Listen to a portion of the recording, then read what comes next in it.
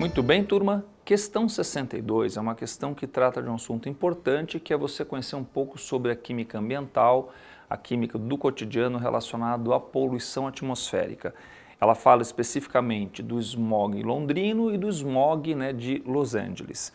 O smog, essa palavra surgiu inicialmente para designar a poluição que você tinha na Grande Inglaterra, na Grande Londres, né, onde você tem a mistura de duas palavras, a gente não tem tradução para a língua portuguesa, smoke, tá, que é fumaça, e fog, que é neblina.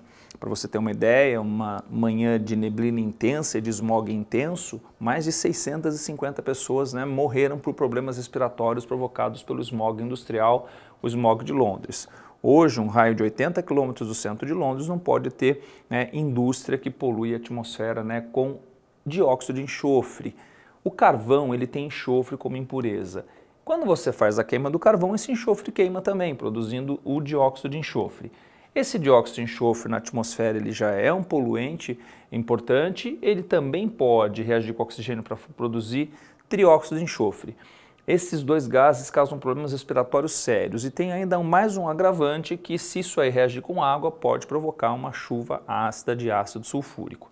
Já no caso né, de uma cidade quente como Los Angeles, muito carro, né, o sonho americano, um monte de carros, então você tem lá a produção de dióxido de nitrogênio saindo do escapamento dos carros. Esse dióxido de nitrogênio com oxigênio, essa molécula é uma molécula ímpar, então ela é super reativa. Ela reage imediatamente com oxigênio para formar NO, que também é uma molécula ímpar que pode inclusive ser reciclada no processo, reagir com oxigênio para formar de volta o NO2 e produz o ozônio.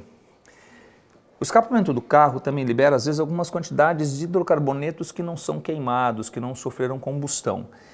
A reação do ozônio com esses hidrocarbonetos pode gerar aldeídos e cetonas. E esses aldeídos e cetonas da atmosfera com os óxidos de nitrogênio é que geram os PANs que aparecem na questão, que são os peróxiacetilnitratos.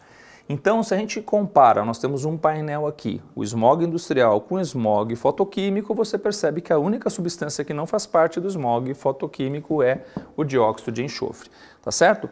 Deixei uma diquinha aqui para vocês. Os óxidos de nitrogênio também são responsáveis por formação de chuva ácida de ácido nítrico. A minha equação preferida para formação da chuva ácida de ácido nítrico é essa aqui. 3NO2 mais água formando 2HNO3 mais NO. Eventualmente você vai encontrar uma outra equação em que você vai ver uh, o NO2, que é chamado também de anidrido nitroso nítrico, formando ácido nitroso. Porém, o ácido nitroso a gente não tem evidências de que ele exista de verdade. Ele é uma substância muito instável a gente representa com aquele símbolo de instabilidade que se decompõe formando né, ácido nítrico. Então a gente prefere fazer já a soma e apresentar a soma como equação que vocês precisam conhecer para a produção de chuva ácida de ácido nítrico proveniente de NO2, tá certo? É isso aí, a resposta da questão então era a letra D. Espero que você tenha ido bem. Né? A dica para estudar esse assunto é pegar uma boa referência de química ambiental e ler bem os textos e associar com as substâncias que você aprendeu nas aulas de óxidos, nas aulas de ácidos e de bases, tá certo? É isso aí, até a próxima, pessoal.